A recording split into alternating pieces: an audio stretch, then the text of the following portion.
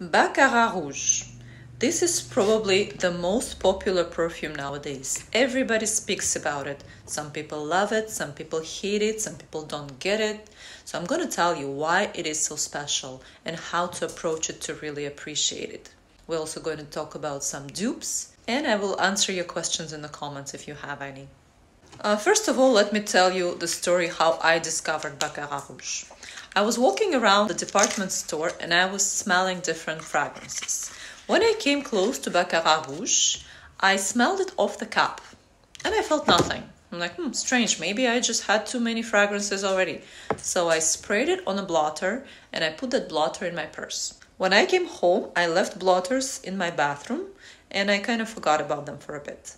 And then at one moment, I walked back in and I was like, wow, what is that wonderful smell? It's kind of very, very feminine and floral and fruity and so hard to describe. And I realized that that was a blotter of Baccarat Rouge. Then I went back to the department store and I decided to spray the perfume on my skin. Here I am. So when you spray it, it doesn't smell anything special. It smells very weak, and a lot of people say they don't even feel it at all. But they always say they still get a lot of compliments from people around them.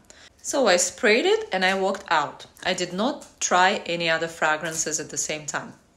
And while I was walking outside, the wind was bringing me something beautiful. And I recognized that this is Baccarat Rouge that I smelled off the blotter in my toilet. But I could not smell it off the cap and I could not smell it off my skin right away. So what's going on? That's when I started realizing that Baccarat Rouge and many other fragrances of Maison Francis Kurkdjian, they actually act very different kind of against the law of physics. A normal fragrance would be very strong from the beginning, especially around your skin, and would weaken when it goes further away and when you wear it longer. That's a normal way. But Baccarat Rouge is totally different. It's kind of weak when you spray it and it's not very strong close to your skin. But it kind of jumps off your skin and expands into the air. And that's why it impresses other people, but you yourself might not feel it so well. So that day I thought that this perfume is like a ghost. It's like here and there, but you cannot really smell it on yourself. And I tell you that I was getting a lot of compliments. I was thinking, should I buy the full bottle or not? Do I really like it that much? And I thought to myself, hmm, I cannot say that I'm crazy about it, but I do like it. So finally, I got 11 ml travel size bottle and I got a sample of Extrait de Parfum just to see the difference between the two. If you look at the pyramid of Eau de Parfum and Extrait de Parfum, you will see some differences, but I could say that I don't really feel them so much when I'm wearing it. Yes, Extrait de Parfum is a little bit stronger, but just tiny bit. The difference is not as much as you would expect. So without looking at the pyramid, I'll tell you what I was feeling in Eau de Parfum. My first idea was there are some blooming flowers in here. It's like, uh, you know, when you have a lot of uh, fruit trees that are blooming in spring, like cherry blossom, pears, apricots, and you just walk around those fields with a lot of trees blooming at the same time, and this is something in the air. That's what I thought it smells like. Then I was catching a bit of jasmine and I was thinking in the direction of almond, but I could not uh, understand what kind of almond it is. It's not a typical almond that you have in fragrances. First, I was thinking that it sounds a bit like almond flour, the one that I used to make French macarons. Or it also sounds like um, almond nuts that you just get fresh off the tree that are not even ripe yet, they're kind of green and milky. And I'm talking about eau de parfum, and almond is not even listed in the pyramid. I cannot say that extrait de parfum has stronger almond. Listing it does not make it stronger. It is still here and not here. It's a kind of a little hint of almond, I would say. And when it comes to the base, this is another part that is very unique about Baccarat Rouge. The base is kind of invisible. It's not a kind of amber or mask that you really feel that interferes with other notes. I could not guess ambergris because with ambergris I get more of a, a saliva going on. If you don't know, ambergris is a sort of secretion of digestive system of whales They call it a vomit of sperm whales. And it's a very expensive material that is so widely used in perfumery nowadays. It's used to create that uh, animalistic sexiness and attraction. The effect that ambergris has on me, it kind of makes my saliva going. And here I did not have that effect. So I did not catch ambergris here. But some people say that it is addictive indeed. So maybe there's just not enough ambergris for me. And that's why I was thinking amber mask or amber and mask. I think Baccarat Rouge is a sexy perfume, but not sexy in a magnetic way, but sexy in a sensual way. But the main reason I like it is because it's my perfect perfume for layering. First of all, it's a very light floral that is very easy to match with other fragrances. And second, and this is the main reason why it's so perfect for layering, is that I call Baccarat Rouge heavy lifter. You know, I already told you that the molecules they kind of jump off your skin and open up a bit away from your skin. I have some perfumes that are more intense on my scale of intensity, but they don't project so well. They kind of stay closer to my skin. And that's when Baccarat Rouge does the heavy lifting.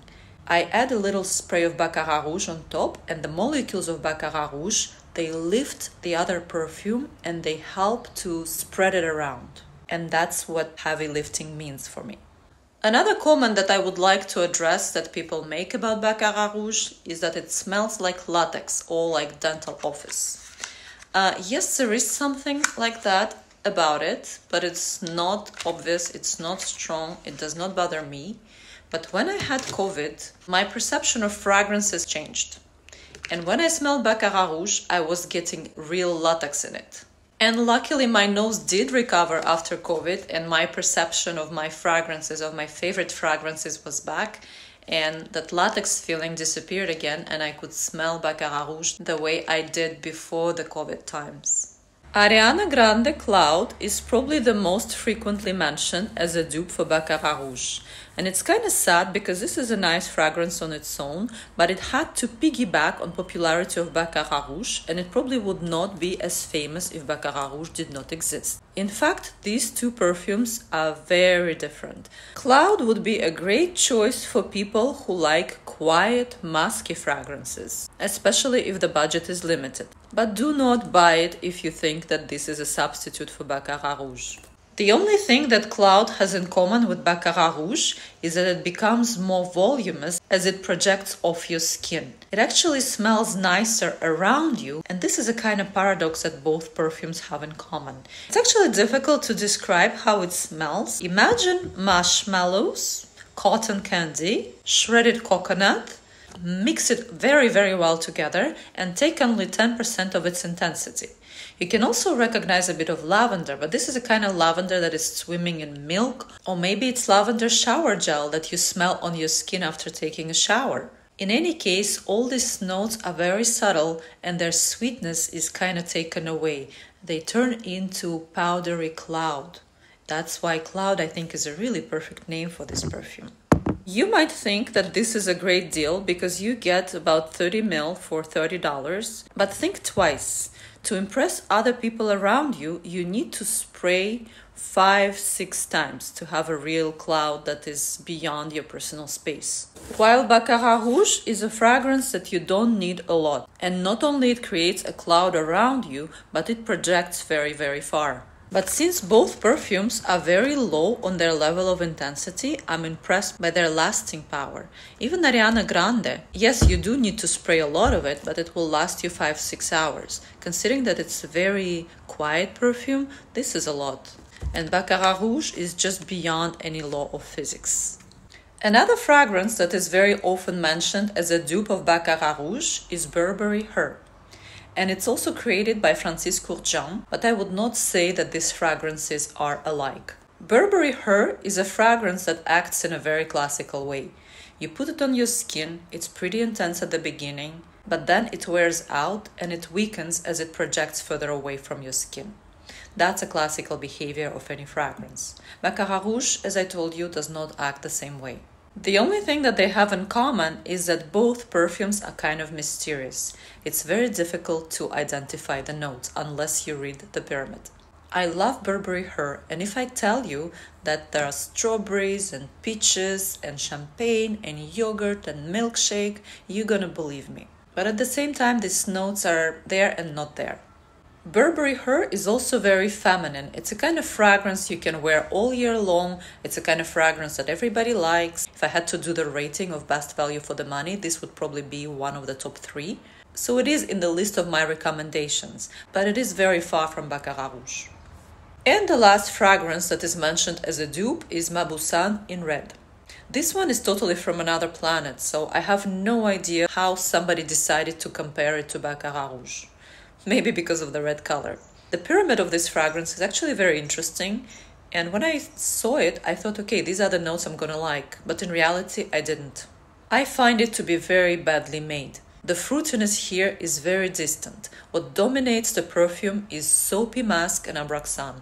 And these two, they kind of make it uh, chemical and not likable for me. Well, I think I have told you everything I know and everything I think about Baccarat Rouge and the dupes. Let me know if you have any questions or comments.